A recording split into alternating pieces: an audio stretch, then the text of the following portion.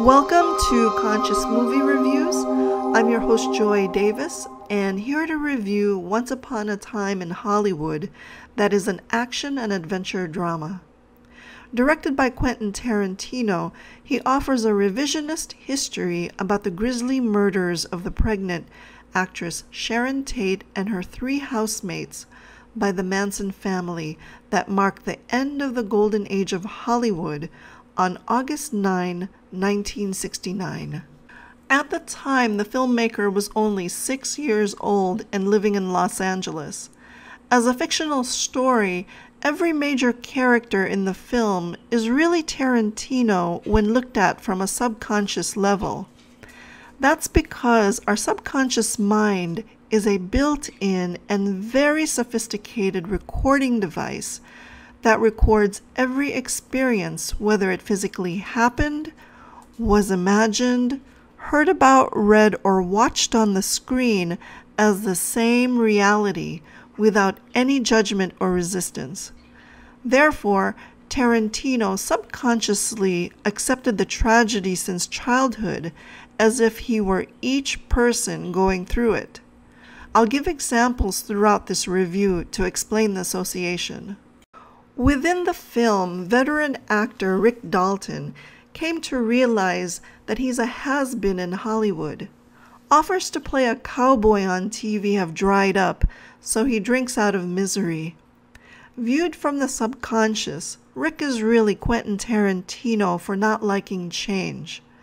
As a traditionalist by nature, he prefers the classic way of doing things, like his tendency to revive an old film genre in this case American Westerns. And by buying the New Beverly Cinema, a historic theater in Los Angeles, Tarantino has preserved the showing of movies that were shot with 35 millimeter celluloid film.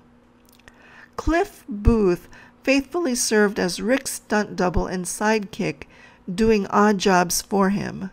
This is Tarantino again for his loyal support of many actors who've been labeled has beens by resurrecting the careers of John Travolta, Pam Grier, David Carradine, and others. As a young starlet, Sharon Tate was part of the golden age of Hollywood through work and play. She took great delight in being with moviegoers who laughed out loud from watching her do comedy in The Wrecking Crew at the local theater. Being the actress in his subconscious mind, Tarantino as Sharon has had an ongoing love affair with old Hollywood and relishes in being able to move an audience.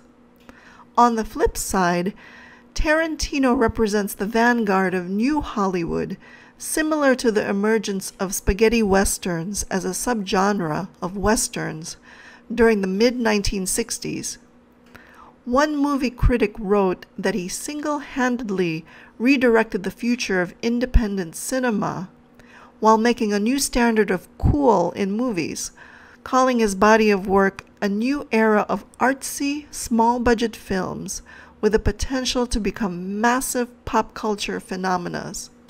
The Manson murders mark the end of old Hollywood. Films by Tarantino that present an alternate history are often at the cusp of something big, like the antebellum South before the Civil War in Django Unchained, or the final days of Nazi rule during World War II in Inglourious Basterds. Many transitional periods in history are filled with major events that cause collective shock or disruption to usher in a new era. This is also Tarantino in the way he likes to provide shock value on the screen that's disruptive. When martial arts great Bruce Lee instigated a fight with Cliff, Tarantino reveals that he can be arrogant in a mouthy way to defend his artistic freedom against those in the media who don't like his style of filmmaking. On the set of a show called Lancer, Rick seated himself nearby Trudy, his eight year old co star. Whip smart and precocious, the method actress intellectualized about taking their craft seriously as a know it all. Being Trudy, Tarantino shows that he's made a long and careful study of how movies are classically made to have an encyclopedic knowledge about them. Cliff was both an intrusion and curiosity at the Spahn Ranch that housed a commune of hippie squatters, mostly young women known as the Manson family. He brutally decked Clem of the group for slashing his front car tire with a knife. The hippies are Tarantino for being on the fringe as a director with a filmmaking style that's very counterculture. He's also Manson for his cult like following by his fans who regard the hyperviolence as art.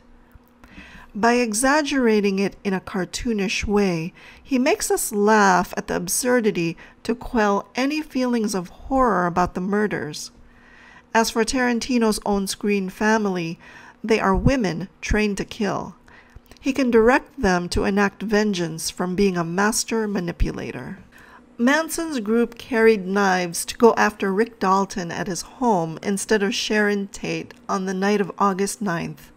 When the thought of real life murder is too stressful, you can change it in an imaginative way as a self soothing exercise, similar to replaying a bad dream in your mind's eye so that it ends in a better way. By doing that, you're taking charge of your inner worlds, including the subconscious. Tarantino alternated history throughout his movie to have his preferred ending where the bad guys get their due. Under the influence of an acid laced cigarette, Cliff defended himself against their knife attacks to kill two of the Manson followers with help from his pit bull. And with a flamethrower in hand, Rick incinerated the remaining one by the pool.